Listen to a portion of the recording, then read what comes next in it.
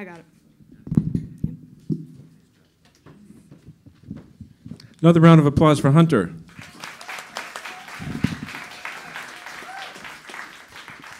Our next performer is a pianist.